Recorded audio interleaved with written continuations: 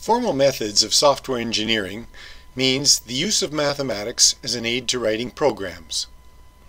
Before we can start applying mathematics to programming, we have to introduce the relevant mathematics. Now don't worry about this. I'm just going to introduce the math that we really are going to use and nothing more. And you may have already learned most of this math in other courses. If you did, this is mostly review but there will be a few things you didn't already know, and I want to make sure we're all using the same notations. If you look at the last couple of pages of the textbook, you'll see all the notations used in the course, and I bet you already know most of them. To start with, this lecture talks about binary theory, which is also called Boolean algebra, or maybe basic logic, or some people say propositional calculus. The expressions of binary theory are called binary expressions. Some binary expressions are called theorems and others are called antitheorems. Binary expressions are used to represent anything that comes in two kinds. The theorems represent one kind and the antitheorems represent the other kind. For example, if you think that statements about the world come in two kinds, namely the true statements and the false statements, then you can use binary expressions to represent statements. You can use the theorems to represent the true statements and the antitheorems to represent the false statements. I don't say that statements about the world really do come in just those two kinds, and it's no business of binary theory to say which statements are true and which are false. But if someone supplies us with statements that are labeled true and false, we can use binary theory to represent them. Another application is digital circuits, because the output of a digital circuit is either high voltage or low voltage. We can use the theorems to represent the circuits with high voltage output and the antitheorems to represent the circuits with low voltage output. Another application is human behavior as viewed by the legal system. We can use the theorems to represent innocent behavior and the antitheorems to represent guilty behavior. Here are two, the two simplest binary expressions. If we're using them to represent statements, we might call the first one true and the other one false. If we're using them to represent circuits, we might call the first one power and the other one ground. And similarly, we could choose words from other application areas. Or, to be independent of all application areas, we can call the first one top and the other one bottom. I tend to call them true and false. The next notation is the not operator, or negation operator. It has one operand. Actually, there are four operators that have one operand, but two of them are degenerate, which means they don't make use of their operand, and one is just the identity operator. Next are the operators that have two operands.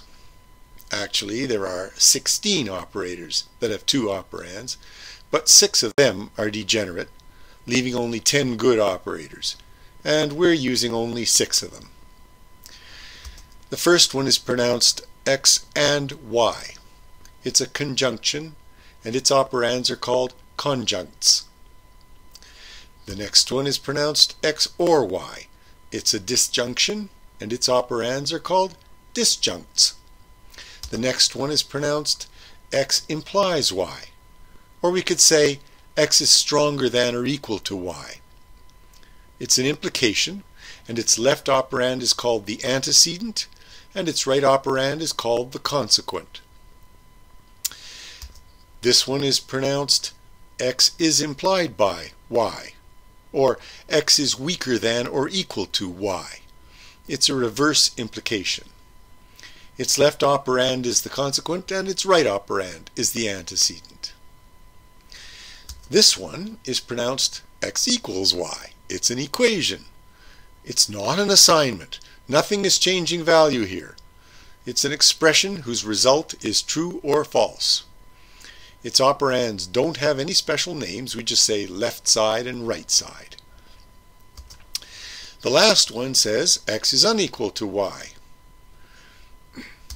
There are a lot of operators that have three operands, 256 of them, but we just want one of them. It's called conditional composition, or if-then-else-fi, and the operands are called the if part, the then part, and the else part. There's a precedence table to say what the order of evaluation is. You can find it on the last page of the textbook. And if you want some other order of evaluation, that's what parentheses, round brackets, are for. On that same table, it says that some operators are associative. For example, conjunction is associative. That means it doesn't matter which way we parenthesize, the result is the same. So we don't bother to write the parentheses. And we can write a longer chain of conjunctions without parentheses because all ways of parenthesizing give the same result. Same for disjunction. Even though equals and unequals are also associative, we don't use their associativity to save parentheses. That's because they are continuing operators. That means if I write x equals y equals z, I mean x equals y and y equals z. That's standard mathematical practice, but it's not the practice in most programming languages. Likewise, the implications are continuing. So if I write x implies y implies z, I mean x implies y and y implies z. And we can make longer chains of equations, longer chains of implications, and even a mixture of the two. And it means a conjunction of single equations and implications. You notice I didn't need parentheses to write a conjunction of equations, but I did need them to write a conjunction of implications. That's because on the precedence table, equals comes before and, but implies comes after and. The equation and implication operators come in two sizes. The big operators mean exactly the same thing as the little operators. All the same laws apply. The only difference between a little operator and a big operator is the precedence. So you can choose the size that saves you some parentheses.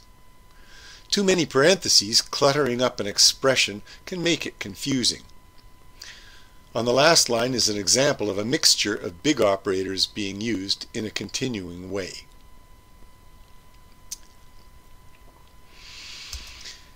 Binary expressions are evaluated according to these truth tables.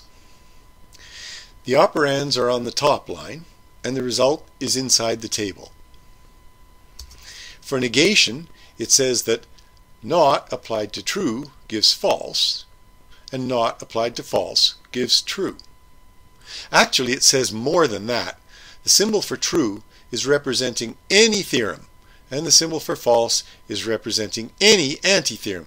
So it says that if you apply not to a theorem, you get an antitheorem, and if you apply not to an antitheorem, you get a theorem. This row shows why conjunction is called AND. You see that the result is true just when both left and when both the left conjunct and the right conjunct are true. And on this row you see why disjunction is called OR. The result is true when either the left disjunct or the right disjunct is true. It's false only when they're both false. If I could remember to call them top and bottom, which would be better because it's independent of application, then I should say that conjunction gives the minimum of its two operands, and disjunction gives the maximum of its two operands. Do you see that? Implication is the ordering operator. It means lower than or equal to. The first entry says top is lower than or equal to top, well, because they're equal. The next entry says that top isn't lower than or equal to bottom. Bottom is lower than or equal to top. And last, bottom is lower than or equal to itself. If I'm saying true and false, I could call this operator falser than or equal to. On the next line, we have reverse implication, which means higher than or equal to, or if you prefer, truer than or equal to.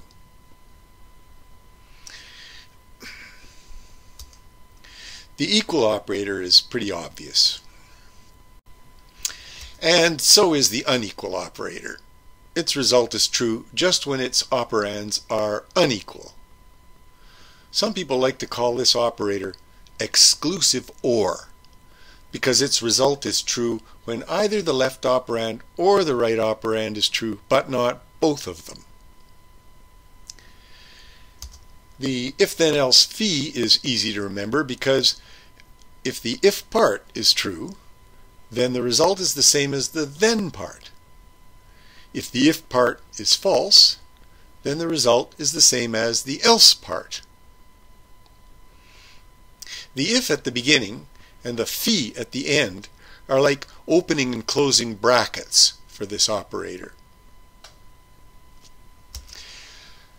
The purpose of variables in an expression is to substitute something else in their place. Substituting something for a variable is called instantiation. When you substitute, you have to be a little careful about the precedence of operators. For example, if we have the expression x and y, we can replace x by anything. So let's replace it by false. And we can replace y by anything. So let's replace it by false or true. So the result is supposed to be the conjunction of false on the left with false or true on the right. But because of the precedence table, we have to put parentheses around false or true. We started with a conjunction, and after we replace the operands, we should still have a conjunction. If we didn't add the parentheses, it would end up as a disjunction. The other rule of substitution is that it has to be systematic. If the same variable occurs more than once, you have to replace it with the same thing at each occurrence. Different variables can be replaced by different things, but they could also be replaced by the same thing if we want. So from x and y, we can get false and false. Or we can get true and false if we want. Well, that's all there is to binary expressions. So now we have to apply binary theory to some application area. An application always supplies its own new binary expressions. For example, it might supply these new binary expressions. The grass is green, the sky is green, there is life elsewhere in the universe, and intelligent messages are coming from space. I don't know what this application is about, but anyway, it gives us these new binary expressions. When we get to number theory, it will give us these new binary expressions, and infinitely many others. The application also has to tell us which of the new expressions are theorems and which are antitheorems. When you're classifying binary expressions as theorems and antitheorems, it's really important to be consistent. That means you don't want to classify some binary expression as both a theorem and an antitheorem. You might like to be complete also, which means you've classified every binary expression one way or the other. But you don't have to be complete. You do have to be consistent. Finding out if a binary expression is a theorem or antitheorem is called proving. And there are five rules for how to do that. The first rule is trivial. It's the axiom rule. Long ago, mathematicians thought that some things in mathematics were obviously true, and those things were called axioms. For example, it was obvious to them that parallel lines never meet. So that was an axiom. Later on, mathematicians discovered that there are interesting non-Euclidean geometries in which parallel lines do meet. Every single thing they thought was obviously true turned out to be just a choice. If you say it's true, you get one kind of mathematics. If you say it's false, that's another kind of mathematics. In my opinion, there's nothing true or false in mathematics. An application area may have true and false statements, and so you have to design your mathematics to apply to that application area. For example, we include this expression in our mathematics to represent the truth in some applications that when you put quantities together, the total quantity does not depend on the order in which you put them together. There are other applications where that's not true. But we're designing our mathematics for those applications where it is true. So we make it an axiom. And according to the axiom rule, it's a theorem. And we'll see that that makes it equivalent to top.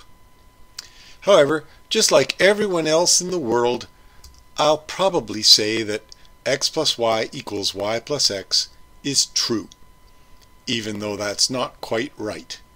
We just choose to use it to represent a truth in an application area. But I'm getting way ahead of myself here. So let's get back to binary theory. The only axiom of binary theory is top, and the only anti-axiom is bottom. For our silly example application area, we have an axiom that says the grass is green and an anti-axiom that says the sky is green. Now here's another axiom. I have no idea if there's life elsewhere in the universe, so I won't make that an axiom or an anti-axiom. I'll just leave it unclassified until we find out if it's true or false. And I also have no idea if intelligent messages are coming from space, so I'll leave that unclassified too. But if intelligent messages are coming from space, then there must be life elsewhere. So we might want this implication to be an axiom. The second proof rule is the evaluation rule. It says, if all the subexpressions are classified, then use the truth tables. If you know what the operands are, then the truth tables tell you what the whole expression is. Next comes the completion rule. It says, if an expression contains unclassified subexpressions, and all ways of classifying them place it in the same class, then it is in that class. If you don't know what the operands are, you might still be able to tell what the whole expression is. For example, there is life elsewhere in the universe, or true. Now, if there's life elsewhere, then that's true or true, which is true. If there isn't life elsewhere, then that's false or true, which is still true. So either way, it's true. So the completion rule says it's a theorem. Here's another example. Either there's life elsewhere or there isn't. If we put true in both places, we get true. If we put false in both places, we get true. So it's true. And one more example. There's life elsewhere and there isn't. If we put true in both places, we get false. If we put false in both places, we get false. So it's false. Next, we have the consistency rule. It says, if a classified binary expression contains binary subexpressions and the one only one way of classifying them is consistent, then they are classified that way. This time we know what the whole expression is, and we're wondering what the parts might be. Here's an example. We're given that x is a theorem, and also that x implies y is a theorem. And the question is, what's y? Here's how we figure it. Suppose y is an anti-theorem.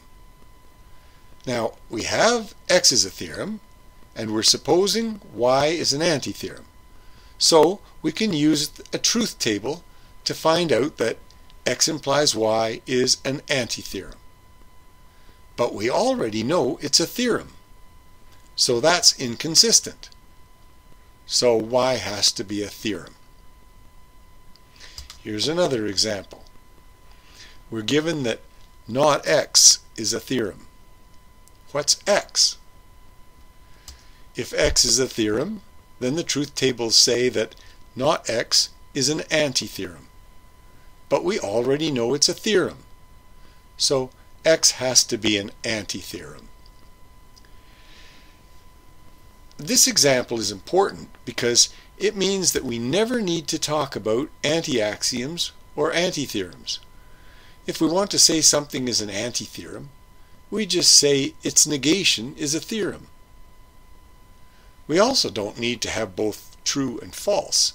For false, we could say not true. The logic tradition here seems a bit odd to me. Traditionally, logicians use both the words true and false, but they don't use both axiom and anti-axiom, and they don't use both theorem and anti-theorem. Oh well. On to the last proof rule, the instance rule. If a binary expression is classified as a theorem or an antitheorem, then all its instances have that same classification. For example, in the textbook somewhere, there's the axiom x equals x. So, by the axiom rule, it's a theorem. And so, if I substitute any expression for both x's, it's still a theorem. Notice the two sizes of equal sign here, just to keep the precedence right. We could evaluate this expression to find out that it's a theorem, but the instance rule says it's a theorem just because the two sides are the same. In this example, we cannot evaluate the two sides. But still, it is an instance of x equals x, so it's a theorem. That's all the rules. In this course, we can use all five rules, and that's called classical logic. In a logic course, it's interesting to see what you can do if you don't allow the completion rule. That's called constructive logic.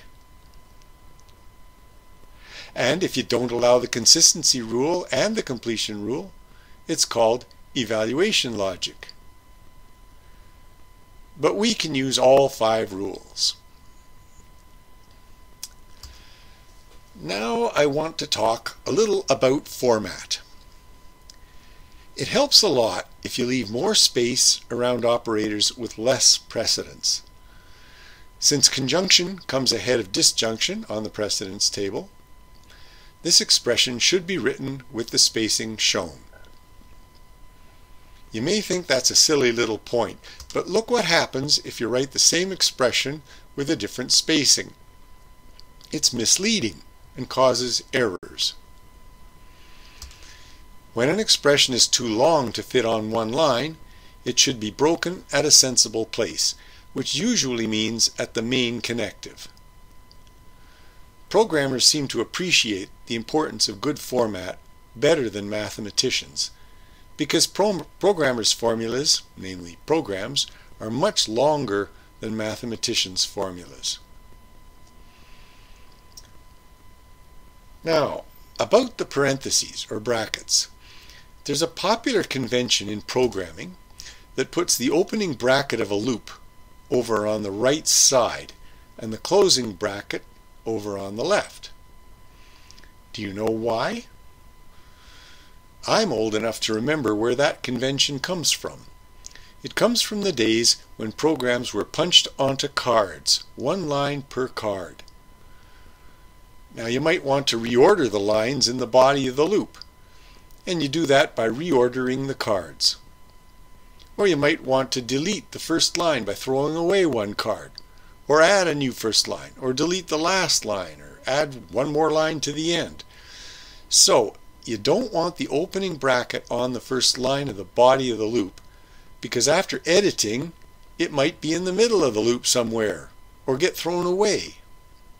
And the same for the closing bracket. But we don't use punched cards anymore.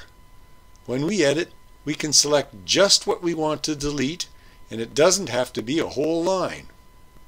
And we can insert text where we want it and everything else moves over. So there's no purpose to that convention anymore. Still, all those C and Java programmers are following it without even knowing why. Let's get rid of that and put our left brackets on the left and our right brackets on the right. And if we don't have brackets, format the same way but without the brackets. Here's a continuing equation, nicely formatted. It really means that expression 0 equals expression 1 and expression 1 equals expression 2 and expression 2 equals expression 3. A continuing equation is very useful as a proof that the first expression equals the last one. To help the reader understand the proof, we put hints over on the right side of the page. Hint 0 is supposed to say why expression 0 equals expression 1. Usually it's just the name of some law. And hint 1 says why expression 1 equals expression 2, and so on. The hints go between the two expressions that we're trying to bridge. Let's look at an example. Actually, this example is a law that's in the back of the book. It's called portation, and it's a really useful law. You should probably memorize this one. But suppose we don't know it's a law. If we want to prove this equation, we can do so as follows. I started with the left side, but I could just as well start with the right side and work down to the left side. I usually start with the more complicated side, but here they're about equally complicated. The first hint says material implication. That's a law from the back of the book that equates an implication and a disjunction. A law is just a theorem that's worth giving a name and worth remembering. Let me spread it out a little. I know now it's badly spaced but I just want to show how we're instantiating that law. We're replacing A with A and B. Both occurrences of A get replaced. The second time I had to add parentheses. And we're replacing B with C. So that's how the first line of the proof becomes the second line. And the same for the other lines. Now, here's another way to write the proof. I put the whole equation that I'm trying to prove on the top line and show that it's equal to true on the bottom line. One reason I like this way is that proof is just the same as simplifying. Proof means simplify to true. And another reason is that equations aren't the only thing we prove. We could be proving a conjunction or a disjunction or anything. We can always prove by simplifying to true. That's enough for this lecture. I'll finish up chapter 1 next time.